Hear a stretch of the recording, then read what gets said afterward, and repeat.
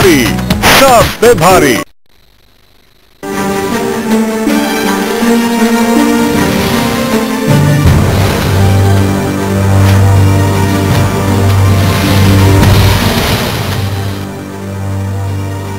बिस्मिल्लाहिर्रहमानिर्रहीम आज के प्रोग्राम के साथ मैं हूँ नसुल्ला मलिक। नाजीन कराची को इख्तियार देने की बहस हमेशा से मौजूद रही है। तो कई बार ये कहा जाता रहा कि कराची को जो असल इख्तियार है वो शायद कभी भी नहीं दिया गया। और हर बार ये कहा जाता है कि कराची को इख्तियार दिया जा रहा है, लेकिन ये बहस हमेशा से मौजूद रही है। जब कभी कराची के अंदर जिली हुकूमत भी हुई, तब भी हुकूमत की और सिंध हुकूमत के माबैन इख्तलाफात भी चलते रहे। लेकिन इस बार तो ये देखने में आया है कि कराची में बलदियाती इंतबात होने के बावजूद छह माह गुजर गए, लेकिन कराची के मेयर का इंतखब नहीं हो सका। उसकी बहुत सी वजूहत हो सकती हैं, लेकिन एक बुनियादी वजह जो कराची के अवाम के पास जाकर हमने उनसे पूछा और उन्होंने हमें बताया, वो यही की जाती है कि कराची में इख्तियार देना शायद कुछ लोगों के लिए बड़ा मुश्किल होता है, इसलिए कराची को इख्तियार देने की रास्ते में रुकावटें भी डाली जा रही हैं। आज इसी मौजू पर बात करेंगे कराची के हालात के हवाले से कराची को इख्तियार दिए जाने के हवाले से, और कराची को किस अंदाज से बेहतर बनाया जा सकता है? कराची के बड़े मसाइल हैं। पानी का मसला अभी बड़ा अहम मसला होगा रमज़ान शरीफ शुरू होने वाला है, और उसकी वजह से भी कराची के अवाम शदीद मुश्किल का हमेशा से शिकार होते हैं। जबकि बलदियाती हुकूमत यहाँ पे मौजूद नहीं है। इस हवाले से बातचीत हमारे साथ करने के लिए मौजूद है एम के एम के नामजद मेयर वसीम अख्तर साहब। वसीम अख्तर साहब बहुत शुक्रिया आपने टाइम निकाला। इतनी अरसा गुजर गया मेयर का इंतखब नहीं हो सका रुकावट क्या? आपके जो इंट्रोडक्शन में जो आप बात कर रहे थे आ, मैं थोड़ा सा उसको डिस्कस करना चाहूँगा कि उसमें ये भी कवर हो जाएगा कि कराची को कभी इख्तियार इख्तियार दिया नहीं गया। बिल्कुल सही कह रहे हो आप। अगर हम सूबाई लेवल पे भी देखें प्रोविंशियल लेवल पे तो ऐसे इलेक्शंस हुए हैं यहाँ जिसमें हमारी बढ़तरी थी। एम क्यू एम की बात कर रहा हूँ। सूबाई असम्बली में। तीन माह के ऐसे आए कि नंबर ऑफ़ वोट असेंबली के अंदर हमारे ज़्यादा थे फिर भी सीएम बनने नहीं दिया गया। उसके बाद आ जाती है लोकल गवर्नमेंट जो आपने सवाल किया। आ, बिल्कुल आप सही कह रहे हैं। मैंडेट हमारे पास है आज। आ, कराची के mayor deputy mayor chairman vice chairman का। मगर आज छः महीने हो चुके हैं हमें। ओथ भी नहीं लिए लेने दिया जा रहा। कोशिश की जा रही है कि इसको डिले मैक्सिमम जो कर सकते हैं क्या वसीम अख्तर नाम रुकावट है या भी वजह हो सकती है नहीं एम क्यू एम का वोट बैंक रुकावट है। एक्सेप्ट नहीं हो रहा। आ, सबसे पहले एक और चीज़ मैं आपको बता दूँ कि जब भी इलेक्शन हुए और एमक्यूएम ने सीटें हासिल की हैं फ़र्स्ट ऑफ़ ऑल कराची के इख्तियार कभी पूरे मिल ही मिले ही नहीं है किसी को भी। उसकी वजह मेयर बनने के बाद और अगर आप उसको इख्तियार दे भी दो तो 23 परसेंट जो कराची का हिस्सा है वो मेयर के अंडर में आता है। पाँच कैंटोनमेंट्स हैं। लैंड कंट्रोल फेडरल गवर्नमेंट के पास है बहुत सारे इदारों का। केपीटी है आ, स्टील मिल है रेलवे है। तो कराची में जितनी लैंड है वो उनके कंट्रोल में जहाँ मेयर का या लोकल गवर्नमेंट का बस नहीं चलता। उनके बायलॉज ही अलग हैं। तो आप खुद सोचो कि अगर फुल पावर्स दे भी दिए जाएँ तो फिर भी मेयर जो है वो 23 परसेंट पे ही काम करा सकता है। लेकिन वसीम सर अमूमी तासर तो ये है कि आपके खिलाफ मुकदमात है। आप कोई पसंदीदा शख्सियत नहीं है खास हलकों के लिए। इसलिए कराची के मेयर के इंतबात में इतना डिले हुआ है। कराची से जिसने भी चाहे वो काज आज़म की हमशीरा ही क्यों ना हो इख्तियार दिए नहीं गए। और ये पार्टी की शबाबदीद है कि वो किसको चेयरमैन वाइस चेयरमैन मुंतखब कराए या मेयर डिप्टी मेयर के स्लॉट के लिए आगे करे। मैं समझता हूँ कि ये जो कराची का मैंडेट है वो मैं आपको तारीख में ले चलूँ।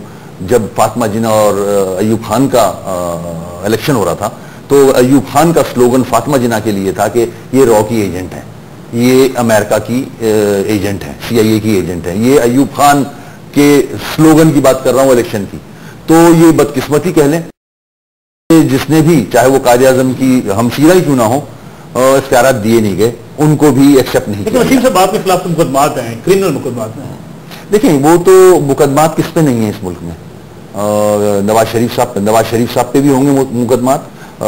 इमरान खान पे भी मुकदमा है। कौन सा लीडर कराची में ऐसा है जिसपे गद्दारी के या रॉ से ताल्लुक के या क्रिमिनल मुकदमात ना बने हों? तो आपके खिलाफ तो, मुकदमात? सारे फेक झूठे मुकदमा इससे पहले चौंसठ थे वो मैंने जेल आ, कोर्ट से आ, सारे मुकदमा कोर्ट को फेस करके ख़त्म कराए। और अब ये फिर से ताली बजाने पे मुकदमा बन रहा है गद्दारी का तो फिर हँसी आती है और तो कुछ लेकिन आप समझते अगर आपकी जगह किसी और को नामजद किया जाता तब भी डिले होते इंतबात देखें, इसमें जो माइंडसेट पीपल्स पार्टी की गवर्नमेंट का है और नवाज़ शरीफ साहब की गवर्नमेंट का है, वो आप भी जानते हैं, मैं भी जानता हूँ कि वो लोकल गवर्नमेंट को कभी भी एक्सेप्ट नहीं करते। आज उन, इन दोनों बड़ी जमातों ने इलेक्शन नहीं कराए लोकल गवर्नमेंट के। ये चाहते नहीं है कि पावर डिवॉल्व हो। तो इसी तरह पीपल्स पार्टी सिंध में है। नंबर ज़्यादा है उसके। अपनी मर्ज़ी से वो अमेंडमेंट्स लाती है। और इलेक्शन कमीशन को भी मैं समझता हूँ उसने इन्फ्लुएंस किया हुआ है। और इस तरह डिलेइंग टैक्टिक्स चाहे वो जुडिशरी के थ्रू हो या एडमिनिस्ट्रेटिव लो एडमिनिस्ट्रेटिवली करना चाह रहे हैं। जो कर रहे हैं तो ये इनके चेहरे हैं। उनको ये इम्प्लीमेंट कर रहे हैं ये चाहते ही नहीं कि इनके M N As M P As से ये वाले पावर्स लेके थर्ड टीयर ऑफ़ गवर्नमेंट की जो नाराज़गी है एस्टेब्लिशमेंट के साथ वो इस रास्ते की रुकावट है? आ, मैं नहीं समझता ऐसा होना तो नहीं चाहिए। वो, वो, वो जानते हैं वो समझते हैं एमक्यूएम को कि अवाम ने मैंडेट दिया है एमक्यूएम को। इनका मेयर डिप्टी मेयर आना चाहिए। माजी में जब फारूक भाई थे उन्होंने बहुत काम किया कराची के लिए। We are for Karachi. Karachi is our constituency हम पैदा हुए कराची में। हमसे अच्छा काम कोई कर नहीं सकता। आज आप देख लें आठ साल से सिंध गवर्नमेंट के पास है कराची। कराची कूड़े का ढेर बना हुआ है। आ, कराची को ओन कोई नहीं करता एक्सेप्ट फॉर एमपीएम और आ, मैं समझता हूँ अगर हमें पावर जैसे ही मिलते हैं हम अप, अपने ऑफ़िस होल्ड करते हैं तो हम इंशाल्लाह जो मसाइल हैं उनको दूर के ढेर की आपने बात की आपने एक सफ़ाई मुहिम शुरू की चंद दिन बाद खत्म कर दी किसने रुकवा देखें हमने कोशिश की कि मुखैर हजरात को इन्वॉल्व करें सिविल सोसाइटी को इन्वॉल्व करें किया हमने। आ, हमें कुछ डिस्ट्रिक्ट ने भी हेल्प किया और कहीं से हमने फंड्स भी कलेक्ट करके हमने मशीनरी जो है वो रेंट पे ली और काम किया हमने। मगर अफसोस से कह रहा हूँ कि जब हमारे वर्कर्स वॉल्ट्रीली काम करने निकले तो उनकी अरेस्ट शुरू हो गई। इवन के चेयरमैन वाइस चेयरमैन आज भी अरेस्ट हुए हैं। काउंसलर अरेस्ट होने शुरू हो गए। वर्कर्स अरेस्ट होने शुरू हो गए। तो अब हम वो फैमिलीज़ जो जिनके लड़के थे वो काम कर रहे थे वो कोर्ट कचहरी भुगते हैं थाने भुगते हैं टॉर्चर भुगते हैं। तो हमने इस वजह से वो काम रोका है अभी।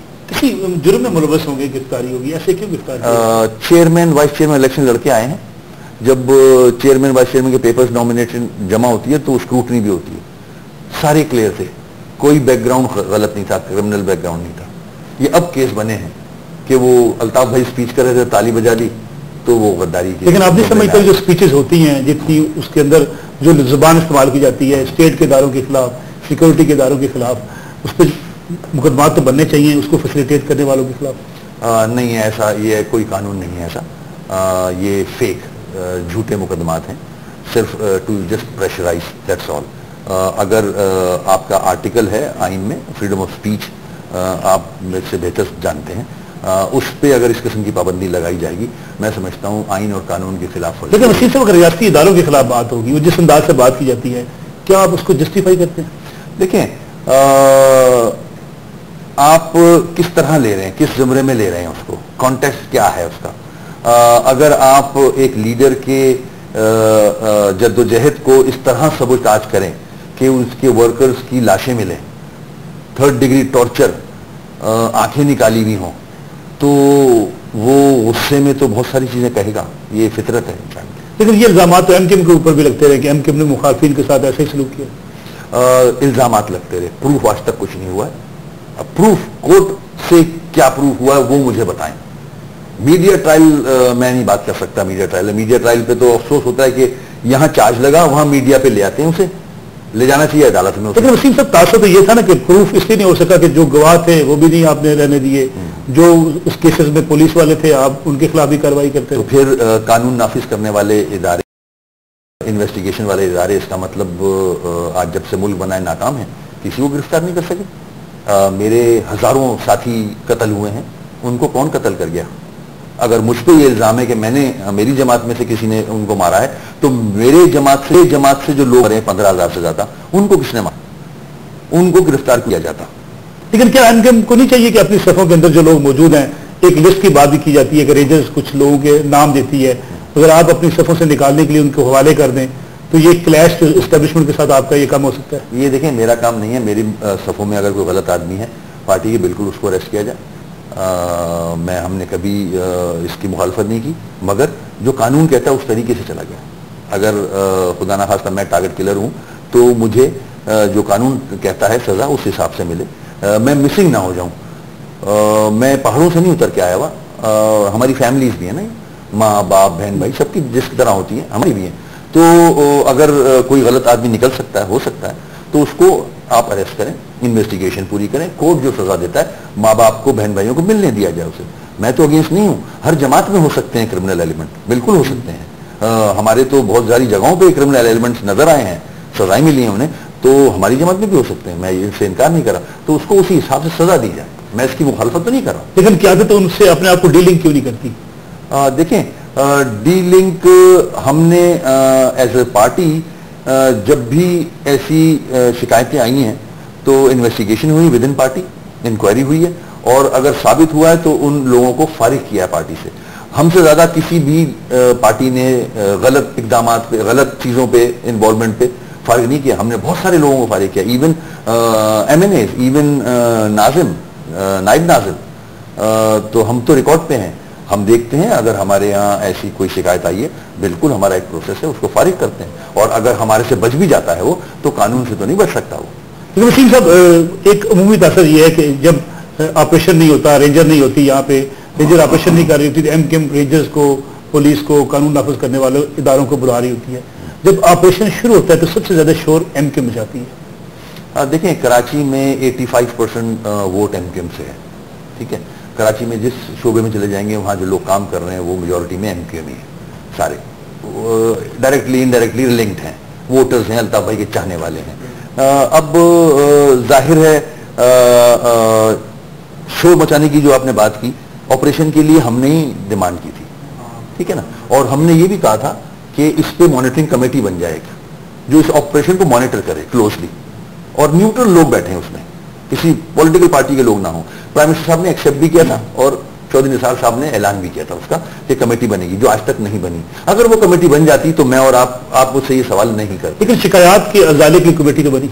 हाँ मगर वो भी आ, ना होने के बराबर हुई। अभी भी बॉल उन्हीं के कोर्ट में है कि उसको फर्दर आगे आ, उसका जो प्रोसेस है वो कंप्लीट किया जाए जो कि नहीं हो रहा। हम तो हर हम तो कोई मौका जाने नहीं दे रहे कि किसी भी तरह मामला सेटल हो किसी तरह मामला खत्म हो। हम वी आर फॉर पीस हमने ही डिमांड किया रुकावट क्या है? ये तो ओ, ओ, मेरे ख्याल में हुकूमत सिंध से या फेडरल गवर्नमेंट से पूछा जाए चौधरी निसार साहब से पूछा जाए कि रुकावट क्या है? जब एमक्यूएम इतनी कोऑपरेट कर रही है कि एमक्यूएम के इलाकों में जब रेड होता है तो वहाँ से कोई रिटेलिएशन नहीं होता। दूसरी जगहों पर आप जाओ तो हर जगह से रिटेलिएशन है। आ, हमारे लॉ इन्फोर्समेंट एजेंसी के लोग जख्मी होते हैं। उधर से गोलियाँ चलती हैं। तो जाके अरेस्ट होते हैं मर्डर होते हैं। हमारे नहीं होता रिटेलिएशन क्या एम की ताकत कमज़ोर हुई है? ये वजह तो नहीं है? नहीं अल्लाह ना करे हमने कभी सोचा भी नहीं कि अपने आ, हम लॉ इन्फोर्समेंट एजेंसीज के सामने आके खड़े हों। हम लॉ अबाइडिंग सिटीजन है। हमें कोई अरेस्ट करने आता है तो लोग जाते हैं आराम से। अरेस्ट देते हैं अपनी और मुकदमा फेस करते हैं अदालतों में। मैं भी कर रहा हूँ और बहुत सारे मेरे जैसे जो झूठे मुकदमा बने हुए हैं लोगों पे वो फेस कर रहे हैं। हम कभी चैलेंज नहीं करेंगे अपने इदारों को। हम अपने इदारों की साख को कभी नुकसान नहीं पहुंचाएँगे। ये हमारे इदारे हैं। फौज भी हमारी फौज है रेंजर्स हमारी रेंजर्स है। पुलिस हमारी पुलिस है। आ, हम चाहते हैं कि हमारे शहर में अमन हो। हमारे शहर में अमन होगा तो पूरे मुल्क में अमन होगा। चलिए कराची की बात अमन की बात करते हैं। एक ब्रेक का वक्त हुआ है। ब्रेक से वापस आएँगे तो वसीम अख्तर सबसे पूछेंगे कि कराची में रेंजर्स को जो अख्तियार दिए जाने की बात होती है क्या ऑपरेशन जारी रहना चाहिए या नहीं? आफ्टर शॉर्ट पे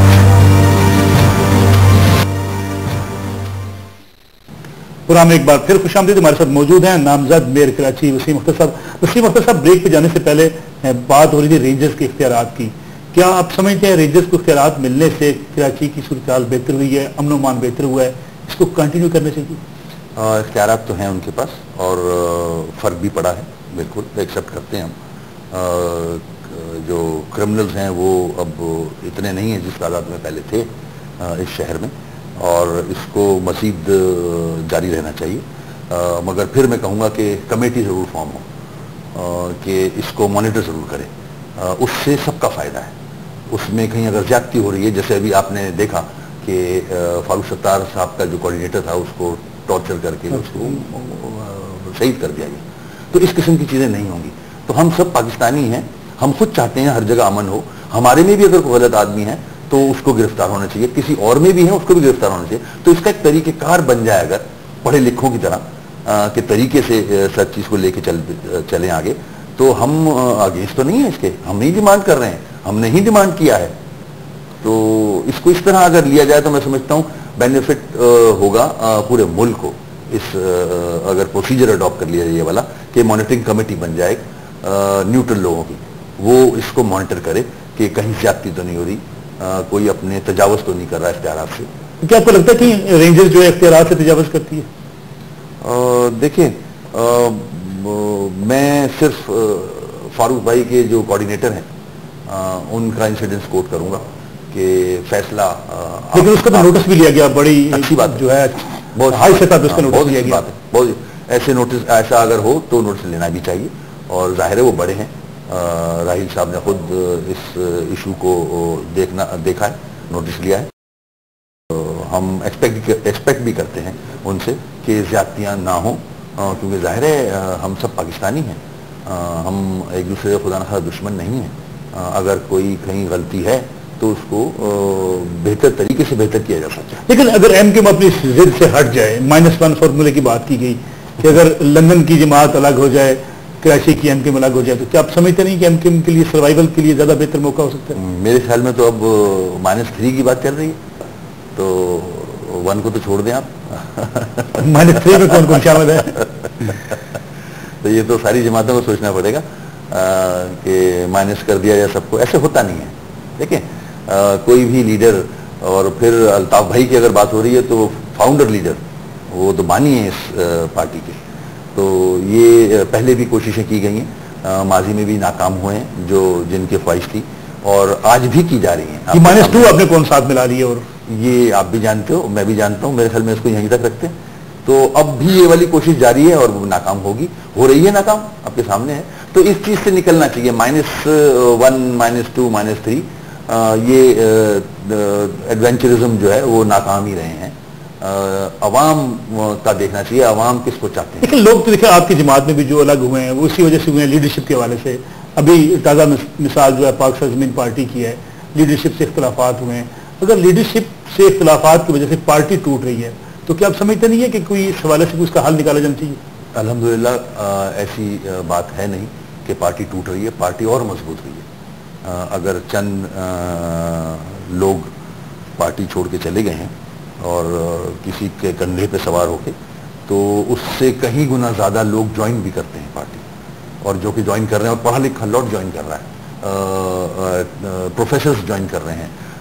एक्स डॉक्टर मतलब जो हैं क्या नाम है इनका डॉक्टर्स हैं इंजीनियर्स हैं शायर हैं ठीक है? रिटायर्ड ऑफिसर्स हैं वो ज्वाइन कर रहे हैं पार्टी को। लेकिन लेकिन मुंतखब नुमाइंदे भी जा रहे हैं। देखें ये वाहिद पार्टी है जिसमें से अगर कोई चला जाए तो उसको फ़र्क नहीं पड़ता। मैं आपके प्रोग्राम के तवस से ये कह दूँ कि पूरी रबता कमेटी पूरे एम एन एम पी भी चले जाएँ तो दूसरे हफ़्ते वो दूसरे लोग इलेक्ट हो जाएँगे। अवाम अल्ताफ भाई के साथ है। बाई इलेक्शन हो रहे हैं। बाई इलेक्शन हो रहे हैं। फिर से वही सीटें आ रही हैं। जो लोग लेकिन वोट तो कम हो रहे हैं। वो बाई इलेक्शन में वोट कम ही पड़ते हैं। आ, इतना ट्रेंड नहीं है हमारे यहाँ। जो एम छोड़ के गए हैं आप देख लें अवाम फिर अल्ताफ भाई के कैंडिडेट को वोट डाल रही है। लेकिन मुश्फाक माँ साहब कहते हैं कि वो इलेक्शन लड़ना नहीं चाहते लड़ नहीं रहे हैं। इसलिए वोट आपको पड़ जाते हैं। अगर वो लड़ना शुरू हो गया इलेक्शन आपके खिलाफ खुल के उन्होंने सियासत का आगाज़ कर दिया फिर क्या होगा? तो वो वक्त भी आई जाएगा देखते हैं। तो आप क्या समझते हैं vote bank M K M को मुतासर करेंगे वो? सवाल ही पैदा नहीं अल्लाह का शुक्र है। अल्ताफ भाई की फॉलोइंग कराची का वोट बैंक खासतौर पर अल्ताफ भाई के चाहने वालों को अल्लाह ही रोके तो रोक सकता है। लेकिन वो खालिक है लेकिन बाकी ज़मीन पे ऐसा मैं नहीं समझता कोई है जो कि अल्ताफ भाई का वोट बैंक जो है वो उसको डेंट लेकिन आप समझते नहीं कि रेंजर्स की ऑपरेशन से या कार्रवाइयों से एम के एम को जो होल्ड था पोलिंग स्टेशनों पे बाकी जगहों पे वो कम हुआ है जिसकी वजह से मैं तो समझता हूँ मेरा होल्ड तो पोलिंग स्टेशन से ज़्यादा हो गया कि उन्हीं की निगरानी में हम सारे इलेक्शन जीतते हैं। अब भी जो इलेक्शन होंगे उसमें यह हुए हैं। उसमें हमारे फौजी भाई भी रेंजर्स भी अंदर भी हैं बाहर भी हैं साइडों पे भी हैं। फिर भी एम के डब्बे खुलते हैं तो वही पता तो मुझे तो और फ़ायदा हो रहा है।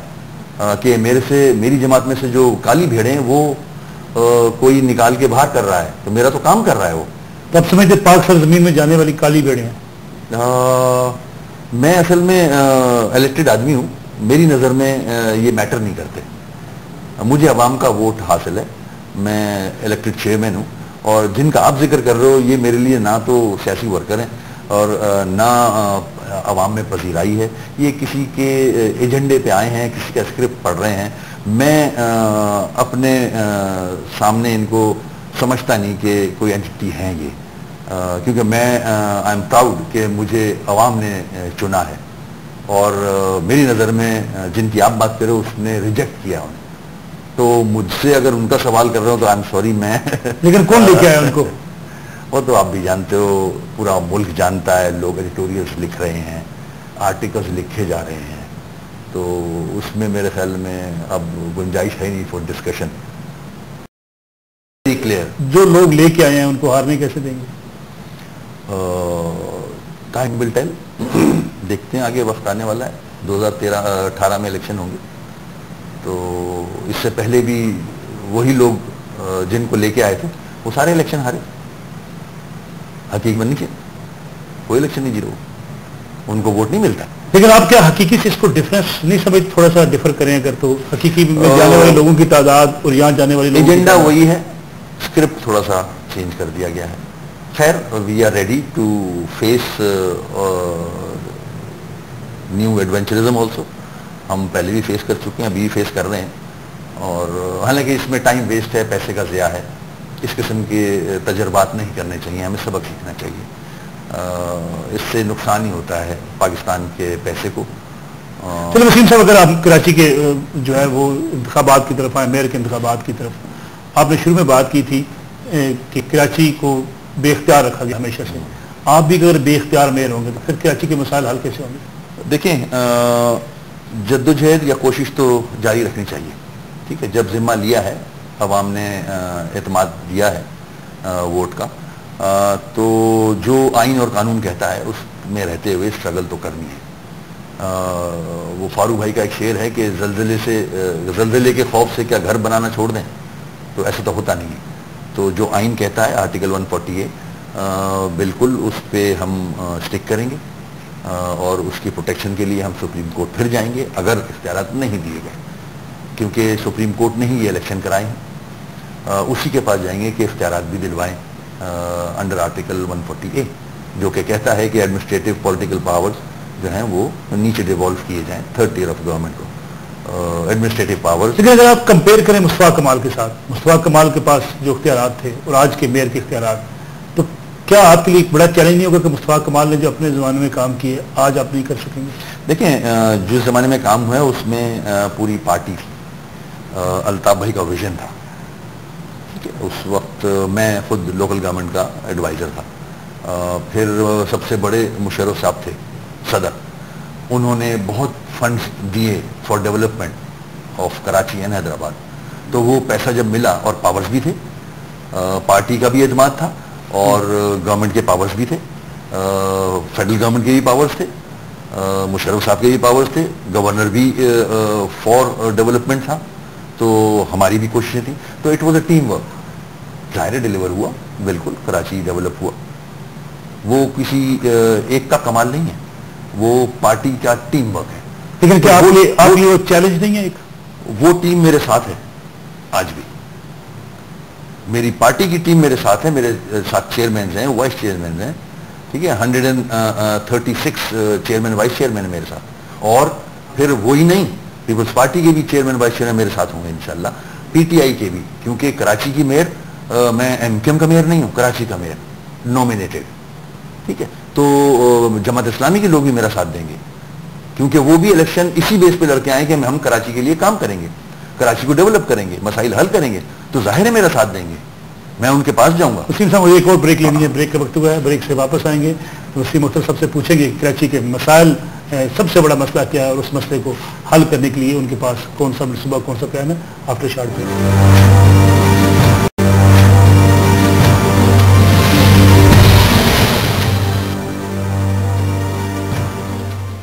पुराना एक बार फिर खुश हमारे साथ मौजूद है वसीम अख्तर नामजद मेयर बरा कराची। वसीम साहब कराची का सबसे बड़ा मसला जो आप समझते हैं कि सबसे बड़ा अहम मसला है और आपकी तरजीहत क्या होंगी? देखिए हमने इलेक्शन का ओथ लेने के बाद चेयरमैन का हमने अपना रोड मैप बना लिया है। आ, हमें यहाँ के इश्यूज़ पता हैं। फारूक सत्तार भी मेयर रह चुके हैं उसके बाद भी मेयरशिप हमारे पास रही है। फिर प्रोविंशियल गवर्नमेंट में हम रहे हैं मिनिस्टर्स भी रहे हैं, हम मिनिस्ट्रियाँ भी देखी हैं। तो जो बेसिक रिक्वायरमेंट हैं बेसिक इश्यूज़ हैं, वो हमारी नॉलेज में हैं।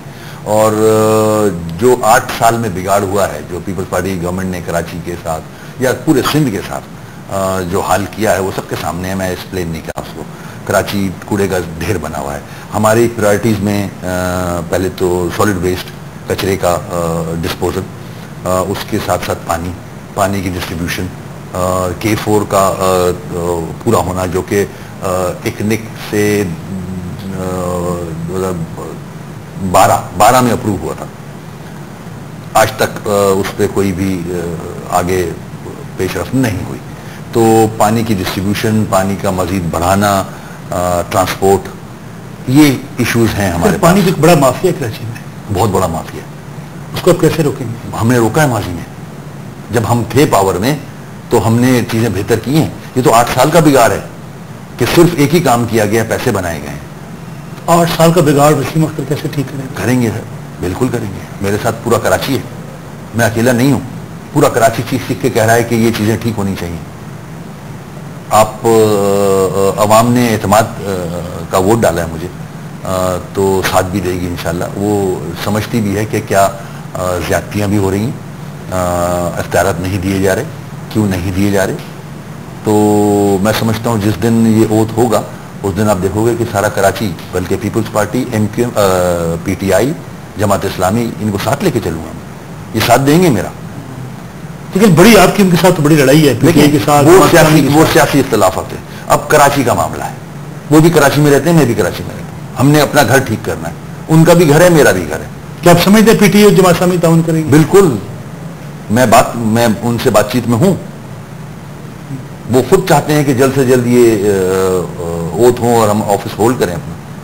हम मिलके काम करेंगे। हमारी कोई दुश्मनियाँ नहीं है सियासी इख्लाफात अपनी जगह। और फिर ये तो अवाम ने जो वोट डाला है वो कराची की बेहतरी के लिए डाला है। कराची के इशू रिजोल्व करने के लिए डाला है। पहली तरजीह क्या होगी आपकी? सफ़ाई। Green Karachi clean Karachi.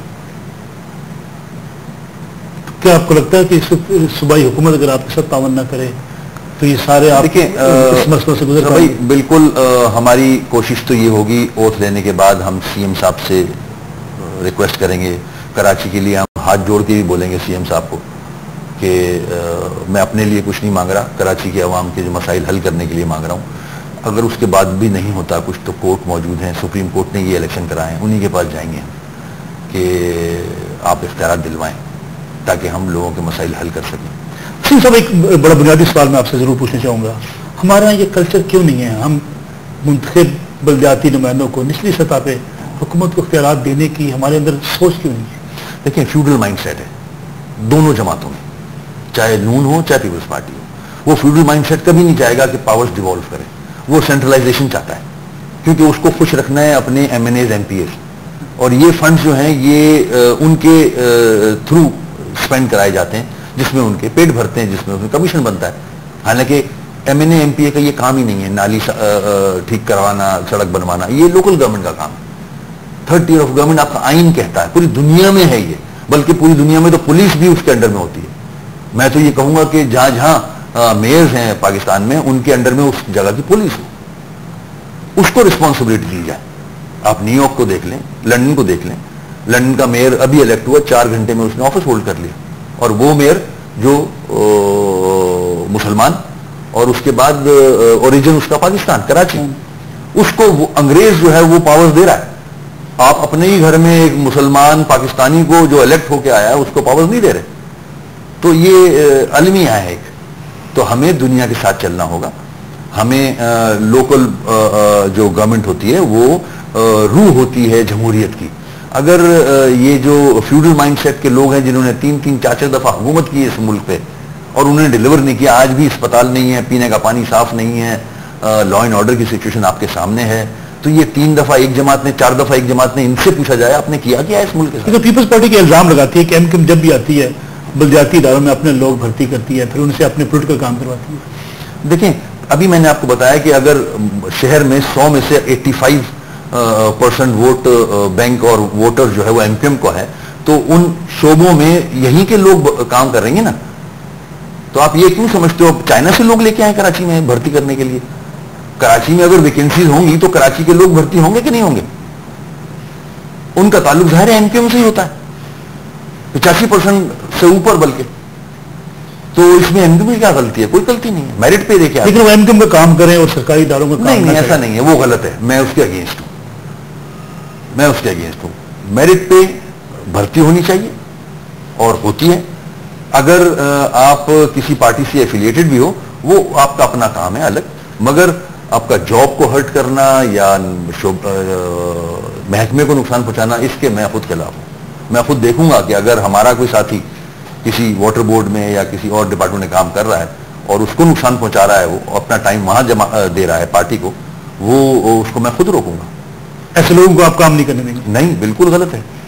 आप अपने महकमे को नुकसान नहीं पहुँचा सकते। जो टाइम देना है आपको वहाँ दें। उसके बाद आप किसी पार्टी में काम करते हैं करें बिल्कुल। मगर उश्क पे असर अंदाज ना हो आपका पार्टी का काम आपके शोबे में। सिंध गवर्नमेंट से माली सपोर्ट के वाले से आपकी क्या आप समझते हैं कि माली सपोर्ट मिलेगी? अभी तक तो जो तेवर हैं जो उनकी पॉलिसीज़ हैं जो नज़र आ रही हैं लगता तो नहीं कि वो किसी भी तरह लोकल गवर्नमेंट के जो लोग हैं जो जीत के आए इलेक्शन उनको काम करने देंगे। ये मेरी सोच है क्योंकि मैं देख रहा हूँ। तो इस लड़ाई से कराची कितना सफ़र करेगा? मैं लड़ना नहीं चाहता। मैंने आपको कहा कि मैं सीएम साहब के पास रिक्वेस्ट करके जाऊँगा और उनको बताऊँगा कराची सिंध का बड़ा शहर है। सिंध कराची के टैक्सी से चलता है पूरा पाकिस्तान चलता है। तो ऐसे ना करें मिल के काम करते हैं। मैं मुझे भी इलेक्ट यहाँ से किया है। और ये तरक्की करेगा, कराची तो सिंध तरक्की करेगा। एक ये थर्ड टीयर ऑफ़ गवर्नमेंट है, आपकी कॉन्स्टिट्यूशन कह रहा है ये। Federal government provincial government and local government तो आप लोकल गवर्नमेंट को भी स्ट्रॉन्ग करें, ये सीएम साहब की ज़िम्मेदारी बनती है। आइन का जो आर्टिकल है वो ये कहता है कि पावर शेल डिवॉल्व शैल का लफ्ज इस्तेमाल हुआ है कि पावर्स आपको देने ही देने नीचे। तो इसको अगर रोकोगे तो आप, फिर आप अपना चेहरा दिखा रहे हो दुनिया को।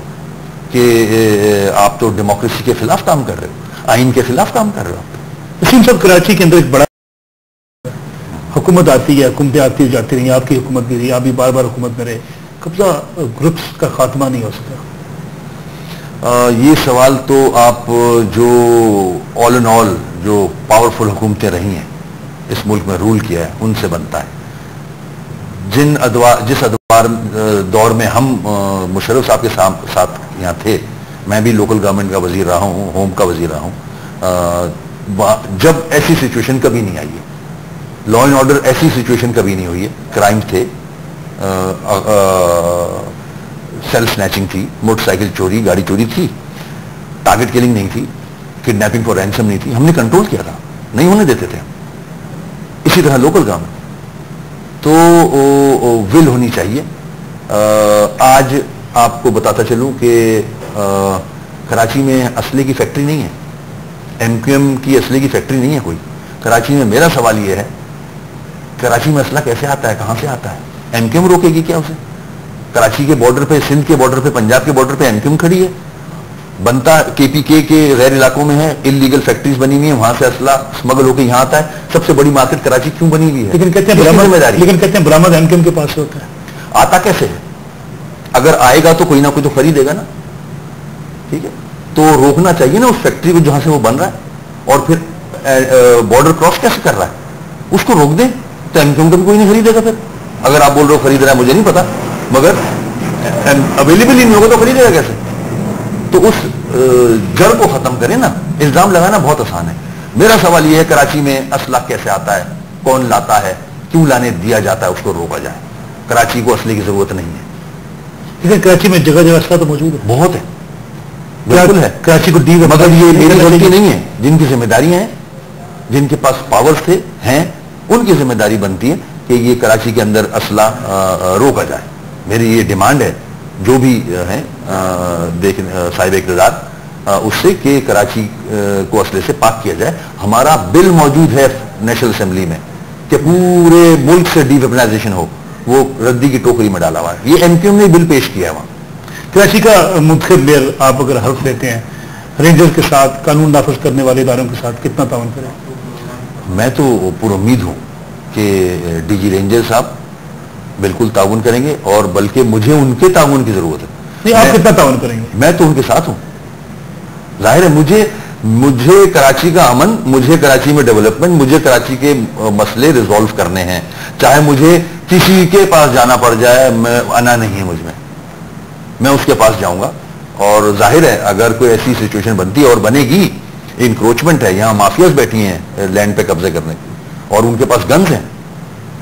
उनका मुकाबला कौन करेगा? ज़ाहिर है, मुझे आईजी पुलिस से बात करनी होगी, मुझे डीजी रेंजर साहब से बात करनी होगी। और आई एम श्योर वो खुद जिम्मेदार हैं, जिम्मा दिया हुआ उन्होंने अमन कायम करने का तो वो साथ देंगे। बिल्कुल देंगे। और मैं पूरी उम्मीद हूँ कि हम मिल के कराची के अंदर अमन भी लाएँगे और इंशाल्लाह डेवलपमेंट भी करेंगे। वसीम अख्तर साहब, बहुत शुक्रिया आपका। वसीम अख्तर नामजद मेरे कराची मसद मौजूद थे। कराची को इख्तियार देना मैं समझता हूँ सब सियासी जमातों की ज़िम्मेदारी है, क्योंकि पाकिस्तान के उस शहर को जो शादी शहर आ जाए अगर उसको इख्तियार नहीं मिलेगा तो लोगों में एहसास से महरूमी पैदा होता है। वो एहसास महरूमी किसी कौम के लिए बड़ा खतरनाक होता है। उसका को जा दीजिए। अल्लाह हाफिज़।